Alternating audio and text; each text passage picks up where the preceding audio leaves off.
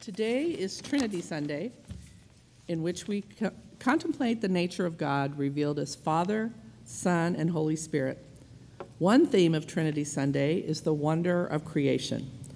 Today's readings are from the Psalms, where the wonder of creation is described.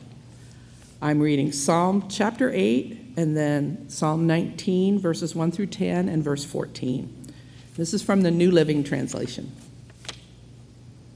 O Lord, our Lord, your majestic name fills the earth. Your glory is higher than the heavens. You have taught children and infants to tell of your strength, silencing your enemies and all who oppose you.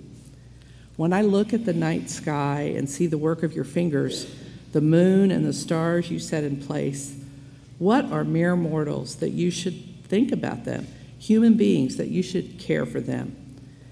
Yet you made them only a little lower than God and crowned them with glory and honor.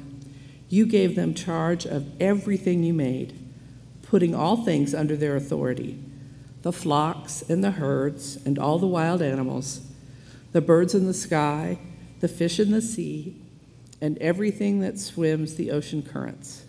O Lord, our Lord, your majestic name fills the earth. Now, Psalm 19. The heavens proclaim the glory of God, the skies display his craftsmanship. Day after day they continue to speak. Night after night they make him known. They speak without a sound or word. Their voice is never heard. Yet their message has gone throughout the earth and their words to all the world. God has made a home in the heavens for the sun. It bursts forth like a radiant bridegroom after his wedding. It rejoices like a great athlete eager to run the race. The sun rises at one end of the heavens and follows its course to the other end. Nothing can hide from its heat. The instructions of the Lord are perfect, reviving the soul. The decrees of the Lord are trustworthy, making wise the simple. The commandments of the Lord are right, bringing joy to the heart. The commands of the Lord are clear, giving insight for living. Reverence for the Lord is pure, lasting forever. The laws of the Lord are true, each one is fair. They are more desirable than gold, even the finest gold. They are sweeter than honey, even honey dripping from the comb. May the words of my mouth and the meditation of my heart be pleasing to you, O Lord, my rock and my redeemer. The word of God for the people of God. Most of you have probably learned about me that amateur astronomy is one of the hobbies that I'm pretty passionate about. I mentioned last Sunday that earlier in May, Joan and I attended the Texas Star Party, which is a gathering of about 500 amateur astronomers from around the country and even other countries for that matter to observe the night sky for about a week. It was really it's really kind of an odd experience the first time I went because you live the whole week like vampires. uh, you know, everybody's up at night, sometimes all night, and sleeping during the day. Uh, and uh, and it's it's really an interesting experience. And the, and the thing I want to uh, I want to share with you some photos uh, from that event. This is uh, me and Joan on the observing field with my telescope uh, one of my telescopes, I should say. This is my larger, largest one. Um, and, um, uh, and then uh, this is all of my observing uh, equipment. On the left there is my 8 inch telescope, in the middle is the big one, and on the right is my 4 inch refractor. And then you can't even you can't see it in this photo, but I also have a pair of 20 by 90 binoculars that I look through as well at the night sky. So I've got four different ways to view the sky, and Joan uses some of that. And then you see my eyepiece box there, and I have a little uh, tent over my table because I have a laptop computer with some stuff on it, and if it get it doesn't usually do that out in West Texas, but if it gets dewy, that keeps the dew off of my uh, electronics. So that's the reason why I have that. But I want to show you some other uh, photos. Um, this is uh, just a collage of the, the on the top one there, you see the observing field, uh, kind of from a, that's one of the three observing fields. This is the largest one. And then you see some of the telescopes on the left there. There's one on the right that's even bigger than mine, actually. There are several that are uh, quite a number that were larger. And then there's some others there. And you can see some of them uh, are set up for astrophotography, some of them are set up for observing uh, visually, as I do. And then I have the, the one on the bottom right, those are all of my observing pins. Uh, you, you'd think we're like, uh, uh, here you have these grown people observing these objects to earn a little observing pin, you know. And uh, that's my hat with all of my pins from the various years. We've been going to this thing for 18 years, so uh, that's where all that com- comes from. But here are some photos actually taken mostly with uh, regular digital cameras, I think, of the night sky at night. Uh, that is a, a, photograph of the of the Milky Way, which that's probably was taken around 2, 2.30, 3 o'clock in the morning because that's when it came up. And you see, um, uh, you know, some of the lights there, uh, and you see the Milky Way. But this one is particularly spectacular of the Milky Way that one of my astronomy colleagues took. And you can see uh, the observing field in the bottom of the screen. That's uh, we all use red lights at night because it doesn't ruin your night vision. Um, so that's what a that's what an astrono- astrom- astronomy observing field does at night. You know, one of the things that uh, it does for me, uh, since I've been involved in this hobby now, probably a little over 20 years, um, is when I'm looking in my telescope at a galaxy that is 30 million light years away, meaning that the, the, the light that left that object, that, or that is hitting my eyeball, left that object 30 million years ago, all of a sudden the finance committee meeting at the church the night before doesn't seem quite so significant. You know what I mean? Kind of gives perspective um, at that point. So that's what, and, and one of the things I have um, on my on my uh, on my telescope is I actually that one of those texts that we read this morning. Uh, the first the part of the first verse of Psalm 19 is actually on a brass plate on my telescope, where it says, "The heavens declare the glory of God." Um, I'm pretty low key about my not only my faith but my profession when I'm at these amateur astronomy gatherings. I'm going to talk about that again in just a minute. But I've known several of my colleagues that I've gotten to know over several years, and I knew and I was around them some for over a period of a couple of years or more before they realized they, they discovered kind of anecdotally that I was a pastor, and it was almost like they had just discovered that I was a rattlesnake. Uh, because some of these people had never really known pastors before, and I didn't exactly fit the stereotype of what they thought a pastor would be or how a pastor would behave. But anyway, uh, one of the interesting aspects for me is that that the for many in the astronomical community, certainly this is true among some professionals, although certainly not all, but also amateur uh, like me, although not all, is that many of them, uh, however, are not believers. Uh, they neither they either are agnostic about the issue of the existence of God, or they're atheists even. Uh, those that have an affirmative conviction that there is no God.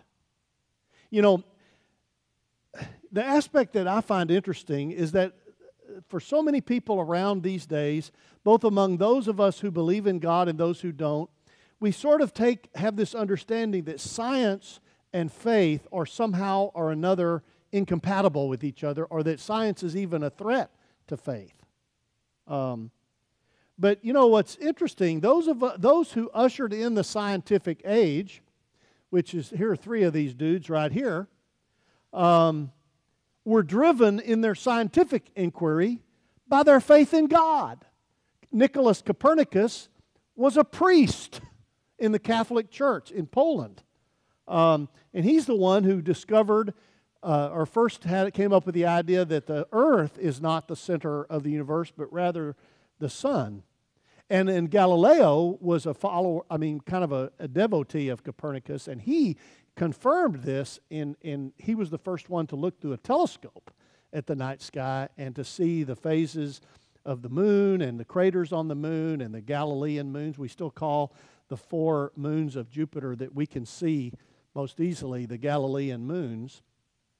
And then, of course, Isaac Newton, who discovered the laws of gravity and, and, and, and invented the type of telescope we call the Newtonian telescope, which is what mine is, my big one is. Uh, he came up with that basic design, which uses a mirror instead of lenses to look through.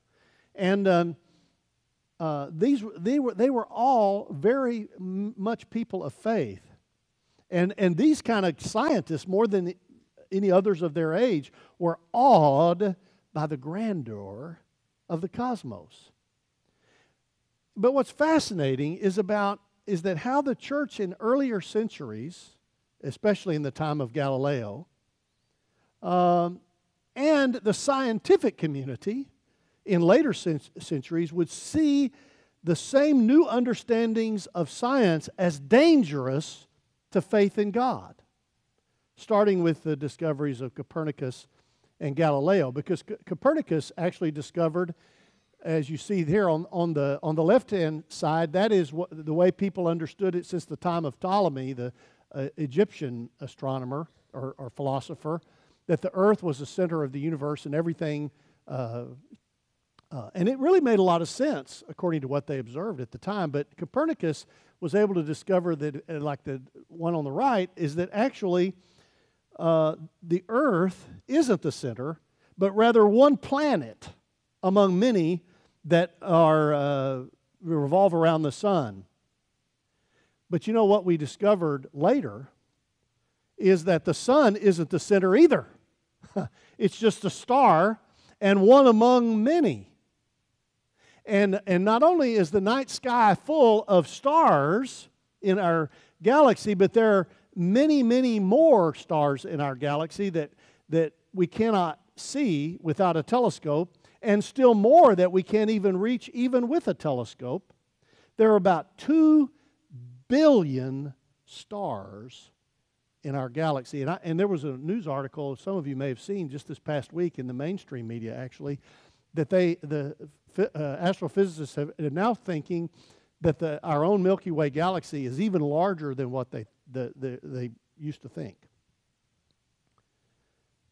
Two billion stars. That's about 30 stars for, in our galaxy for every man, woman, or child on Earth. Think about that.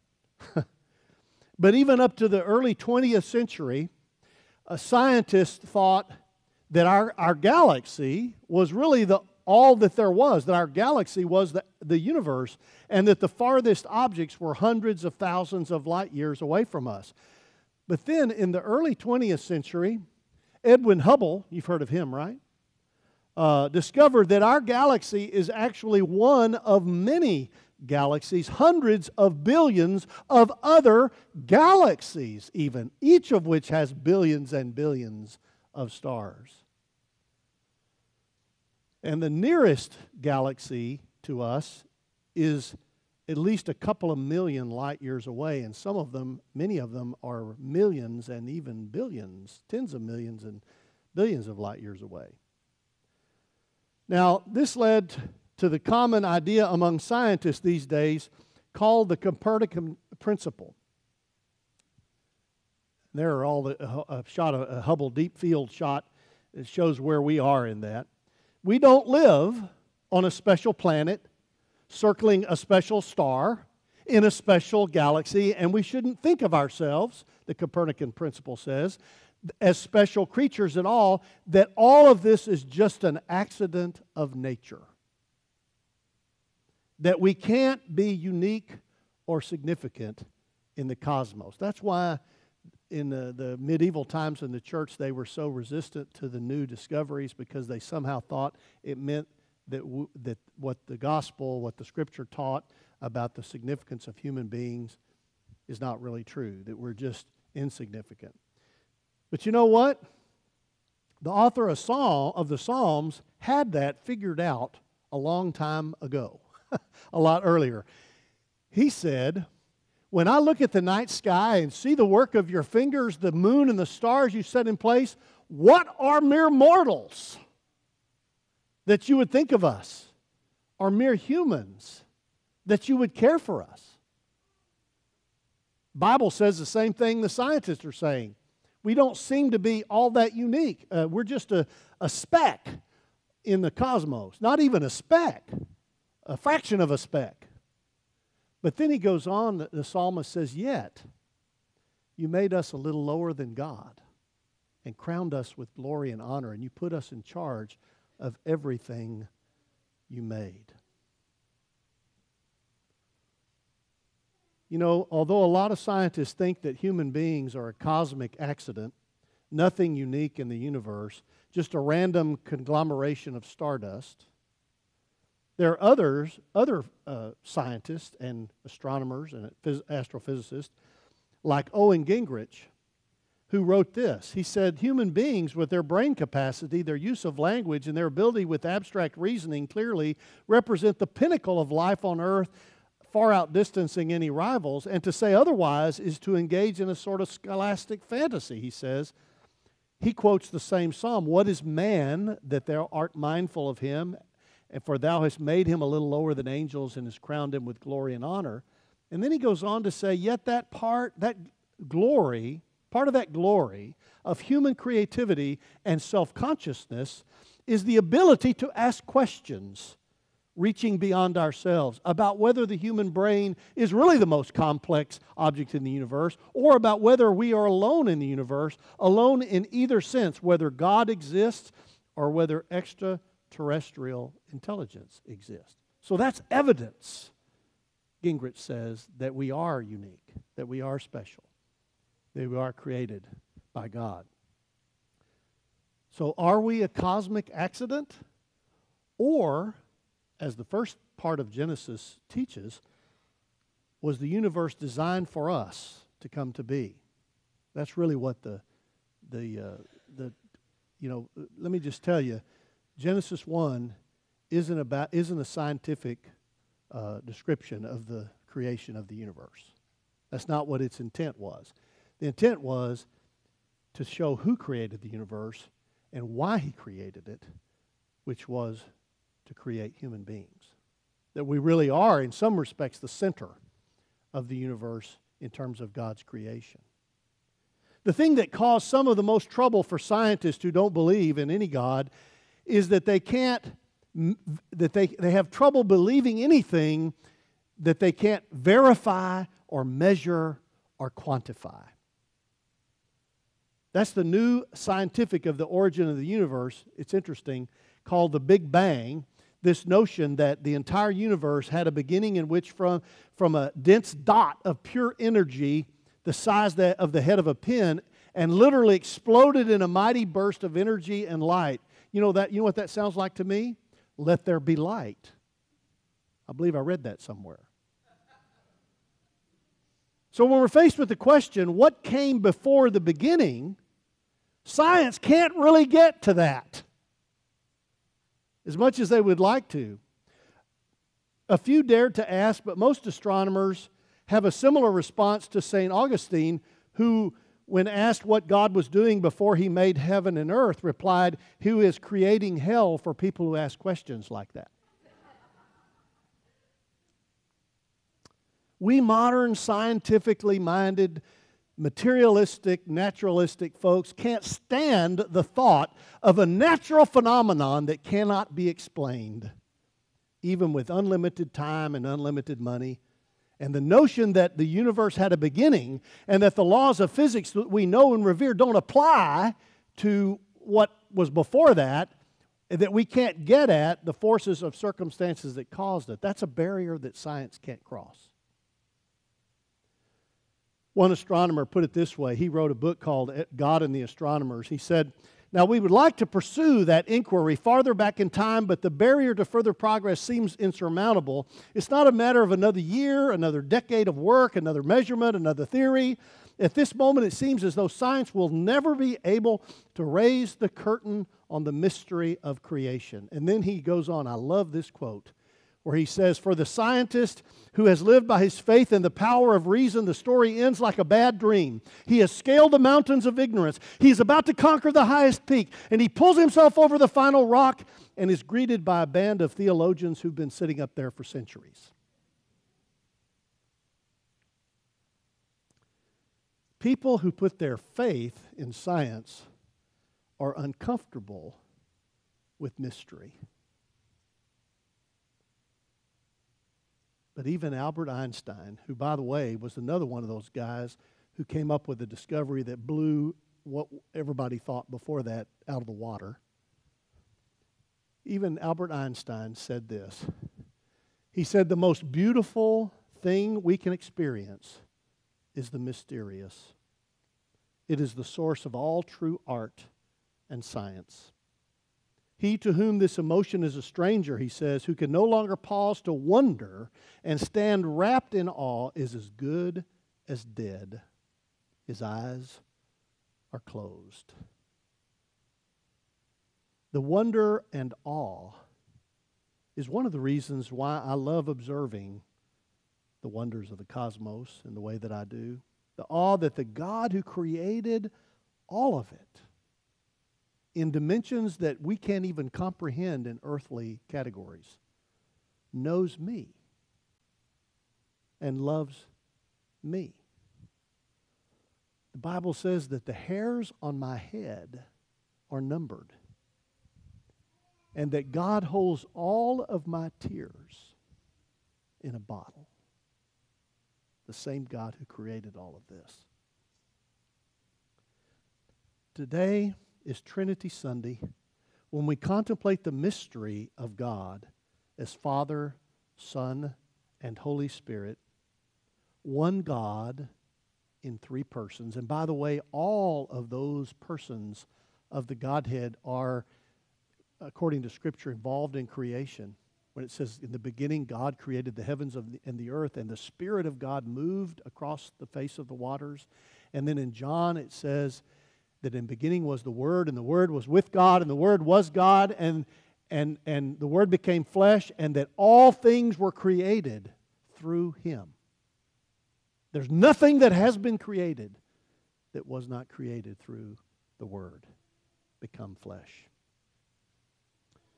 The sacrament of Holy Communion we receive today, we call sometimes a holy mystery.